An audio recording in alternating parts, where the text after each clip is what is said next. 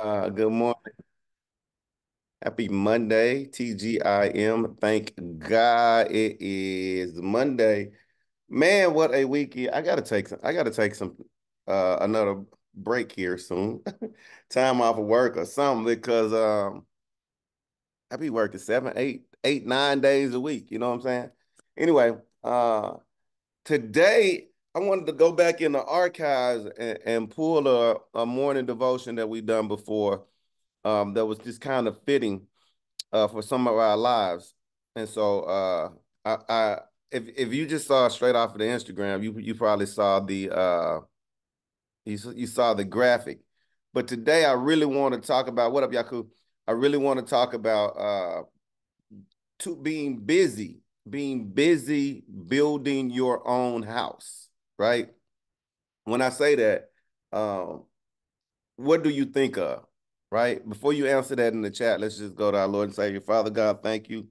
Uh, thank you for this start of this week, God. Thank you for uh, a renewing, a refreshing of our mind today, God. As we step into this week, God, we just ask that, God, you order our steps. Um, let us put things in order uh, from from how busy things are supposed to be to the things that are are just uh, disguises, right? Um, distractions, God. So, God, we just ask that you speak through His word. Thank you for everybody on here. We say these things in the name of Jesus. Amen. All right. Uh, being busy building your own house. Anybody? Anybody? Uh, I could actually, I could actually give a, another uh, simile or a metaphor for, like, um, when you on when you at the gym, right? Some of us be so locked in at the gym, you just on the treadmill looking right here, right? Then we have some of the distractions. Yes, yes right? Same thing with building our own house, right? Some of us are busy building our own house, right? Tending to the business that's gonna get me into the kingdom. Big facts, Shelby. Big facts. What up, girl? Right. Um, and this is from the archive. So I pulled this from the archive. Uh, what up, David? Matter of fact, let me just go through it. Adrian, I see you. Cardiac, Erica made it. Grace, you made it. Change the name, but you got it. Coach, you made it. Nacio, Paul Wally, Inez, how you feeling? Jessica, Melanie. Melanie got baptized this weekend. I was supposed to go, but I ended up at an AAU basketball game. But I was there in spirit, and I had a representative in Ty that was there. Phil, Riri, Shelby, Will, Yaku. What up, y'all? All right, progress. Progress. Um, the definition of progress is movement, like Shelby just said, toward a destination. That's progress. Whatever your destination is. A lot of times we, we don't even um, look at our progress because we feel like we're not moving fast enough, right? Right. But progress, uh, an effort in the right direction. My own definition of it, right? So whatever your effort is, if it's in the right direction, you done made progress, even in a loss. Yes, yes. Right. So movement towards a destination. What up, Isaiah? Right. Movement toward a destination. Procrastination, on the other hand, is a noun we know a lot about. We're talking about being busy, building our own house right around here. Keep keep it focused. Keep it right here, right? Uh, procrastination is the action of delaying or postponing something, right? Progress. So now movement toward a direction or an effort in the right direction procrastination, delaying or postponing something, maybe in the direction you need to be going in. Yes, yes. Right? In order to move toward what God got for you, Jen, Melanie, Phil, Riri, right? First, we got to let go of those distractions that keep us stuck in the same track, right? Stuck like Chuck, right? Some of our distractions um, we kind of talked about this stuff last week. Have us repeating the same thing day after day. We got to do the same thing for the same amount of thrill. We're really not looking for more. We say we want more, but we continue to do the exact same thing. Some people are, are throw in the definition of uh, insanity right there, right? Right. But here's how we disguise our distractions or discuss. Oh, let me say it like this here's how we disguise our procrastination. For some people that be like, I don't think I procrastinate that much, right? Here's how we disguise it. We wake up by show yes, yes. How many people wake up fully conscious, right? Laying in the bed, wide awake. Some of us even say stuff like, I can't go back to sleep, right? But we lay there. But we say stuff like, I'm just going to get up in 15 minutes. Disguise your procrastination. Guilty. Guilty. Alarm go off or even wake up before the alarm. Fully conscious.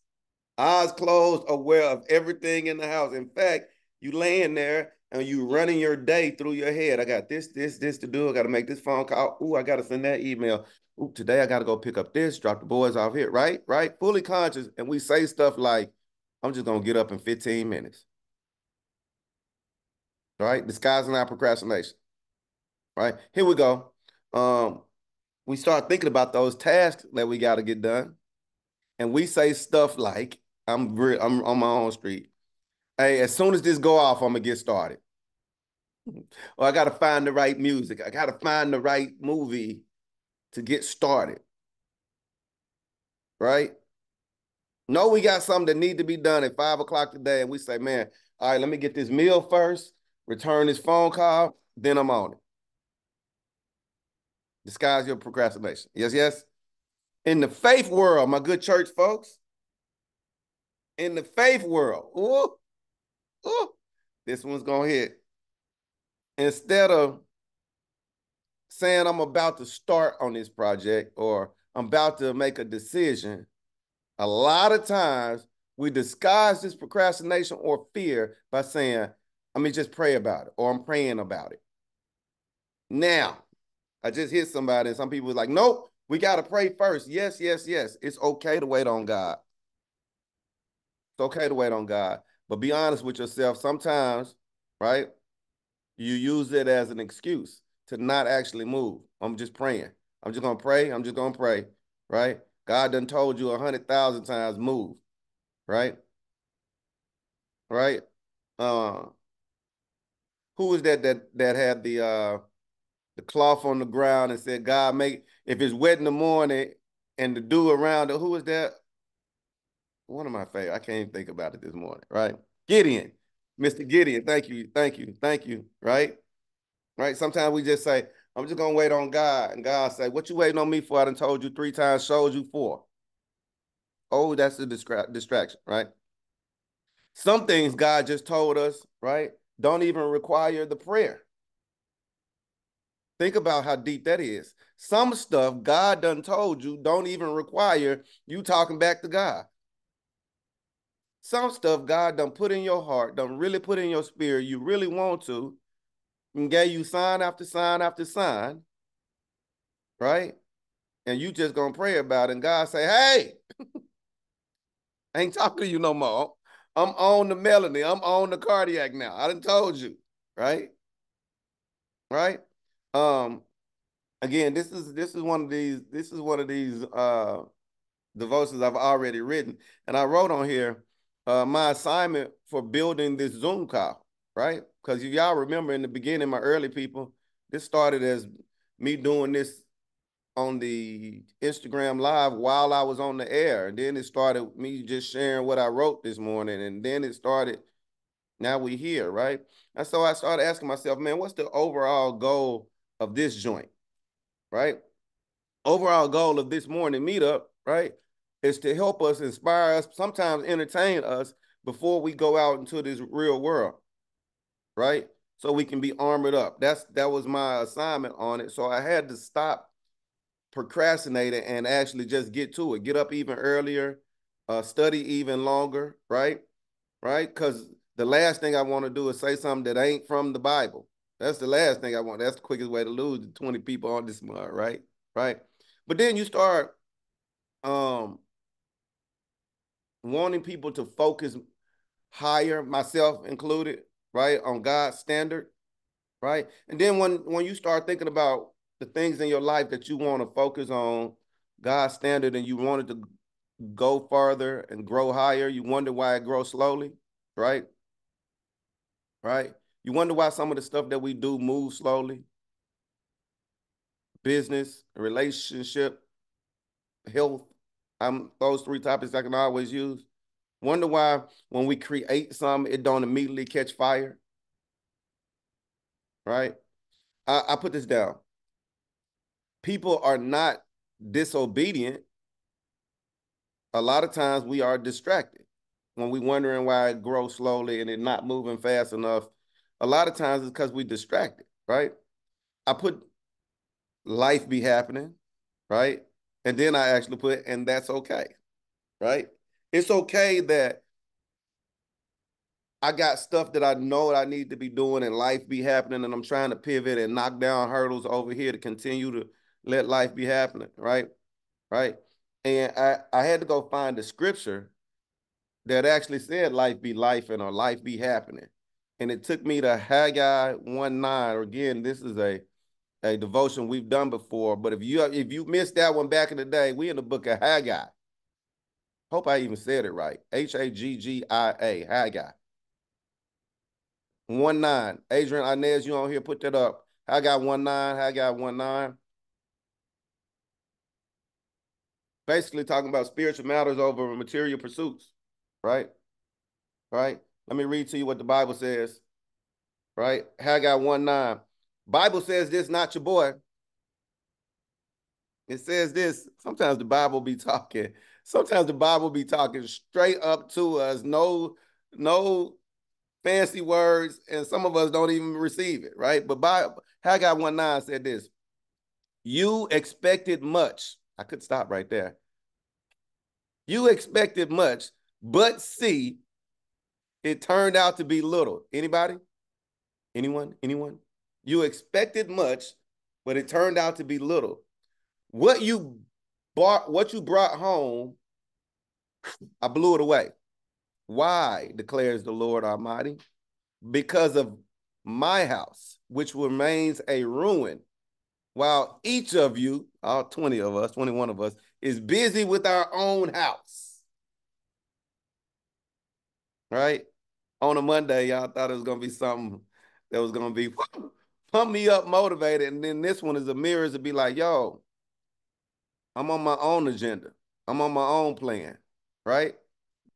How am I gonna break this down to to give you something good out of it? And sometimes we just gotta hit you right in the face and be like, look at what we're doing, right? One of the most, this off my nose, one of the most beautiful things about God is he give us a choice, right? He give us a choice. Now, what we do with it is on us, right? And then a lot of times we give he give us that choice and we make the choice and then we say, "Where you at, God?" That's ain't that okay, right? But God does know our dreams, yes, yes, our desires, our goals, all of that, right? But ask ourselves, Riri, Phil, Ty, Melanie, Erica, David, ask ourselves, right? Um, how do we expect God to actually bless us with things that that we want if we haven't buttoned up his his thing first in our life, the thing God is calling you to, right? You know how easy it is to see somebody winning on a gram or see some a documentary on TV and say, I want that. How easy it is to do that.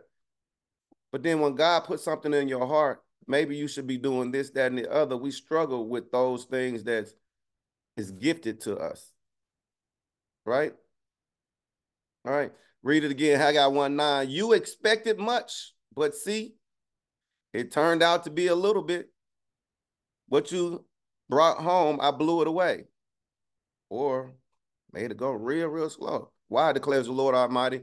Because of my house, which remains in ruin, while each of you is building your own house, right? I, I had this example. I had this example down. Um, you ever invested in so much, right? Put a lot of time in some stuff or in somebody and got a little bit back from them, maybe in a relationship, maybe as an, an, an employee or or you praying for somebody and and they just seem like they're not getting anybody, maybe it's just me. Anybody invested in a lot in somebody or something?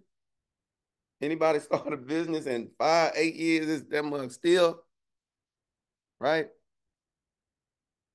uh, I wrote this. when you start the process of anything without God at the center, just like we played that song, Jesus at the center, if God is not at the at the center of whatever you start, thank you, Erica. If God is not at the center of whatever you decide to start, it's going to almost always end in disappointment. I can close the room right there. Whatever you start, if God, if your heart ain't in the right place when you start it, good luck. No matter how much energy, no matter how much talent, no matter how good you look, no matter how sincere you are about it, right?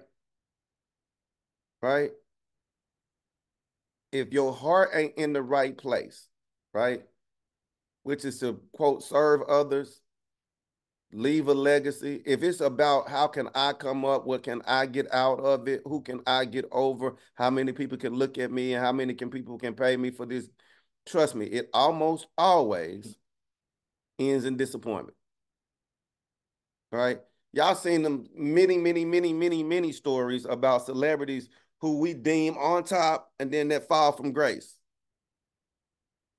ESPN got 30 for 30 to tell you these documentaries all the time, right?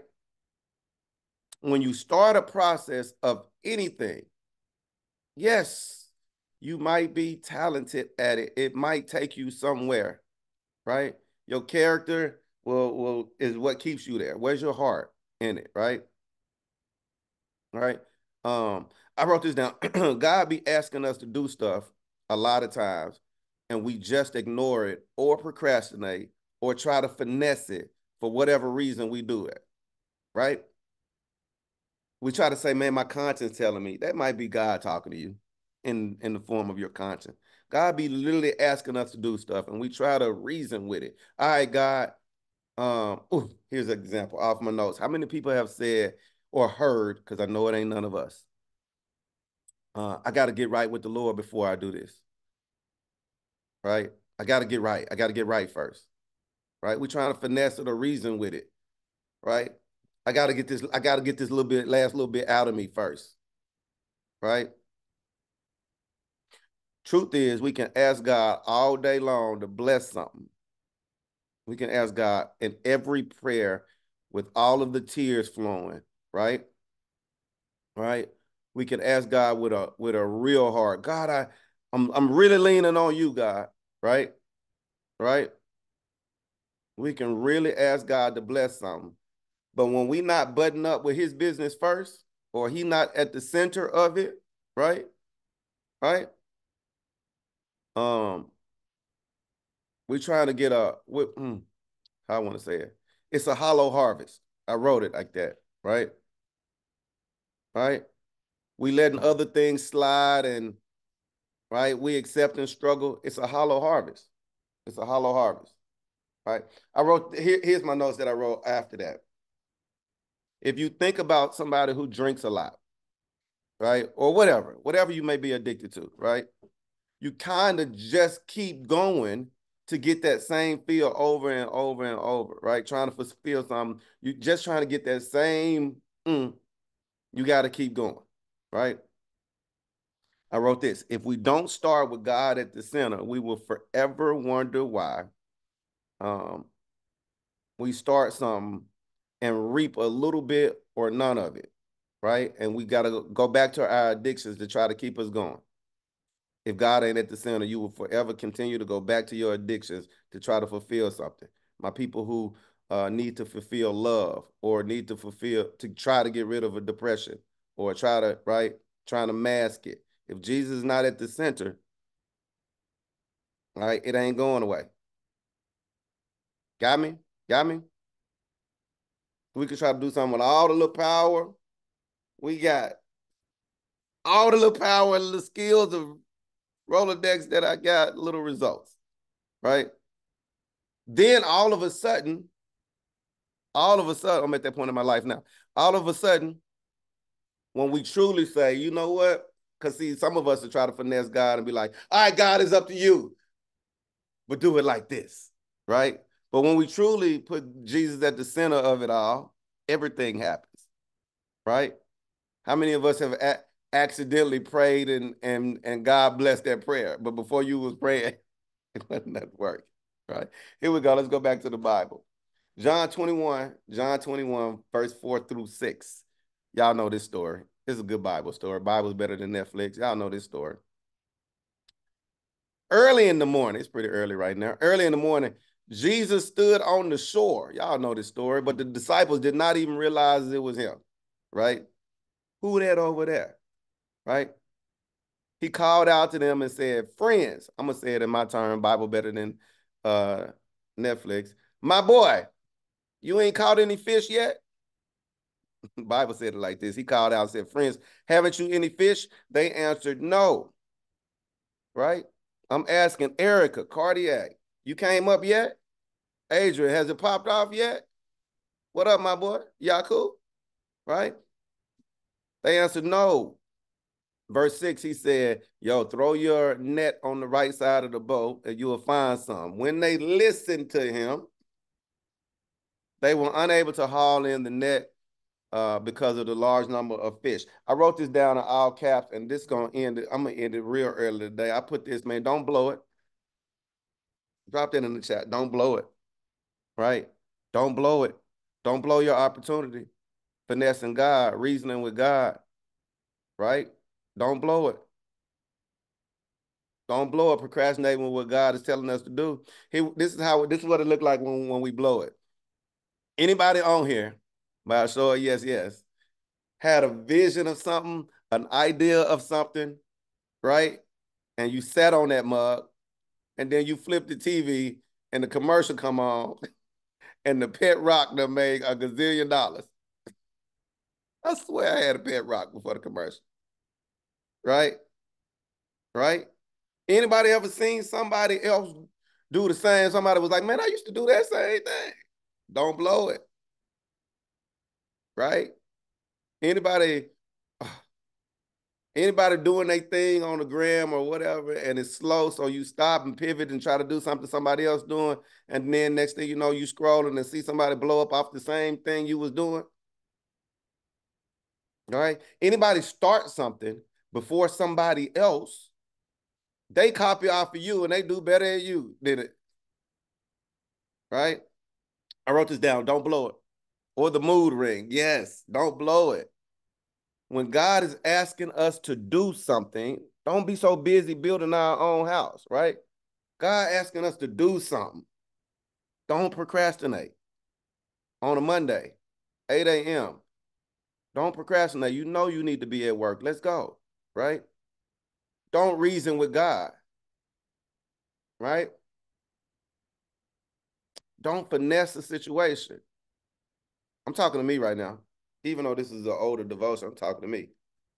Right? Stop saying, okay, God, when I do this first, then I'm gonna come back and God, like, all right, go that way. I'm gonna bless it right here. Whoever walk into it, that's when you start seeing the mood ring. right? I put this down. God does not mind us chasing our desires and our dreams and our hearts. That's love, right? But let's just not get too busy building our own house that we don't button up the things he asking us to do. Don't blow it. Don't blow it. If Jesus is not at the center, it's going to almost always end in disappointment. It can even take off. Because if Jesus is not there at the center when it take off, you for sure going to be saying, I, I did that. Look at what I did. Yes, yes. And then when it come crumbling, every knee shall bow and every tongue. So don't blow it. Don't blow it. Uh, that's literally all I have for this. And this is a good repeat uh, of a devotion. Let's just go to our Lord and Savior. Father God, thank you um, for being in the house that we're trying to build. Uh, God, thank you for having uh, plans for a home that we're trying to build in our lives, God. We just ask that uh, as we start today, God, we just keep you at the center we actually check our heart, God, on the things that we're asking for, no matter what it is, resources, finances, health. Check our heart on the situation, God, and just um, reflect on the things that you are giving us and let us look at how we are doing with the things that you are already giving us, God. It's a reflection morning, God. I hope that we are humble enough to see ourselves in it. Um, God, we just ask that you bless us through it. We say these things in the name of Jesus. Amen. Microphone's open. Microphone's open, short and sweet. Short and sweet.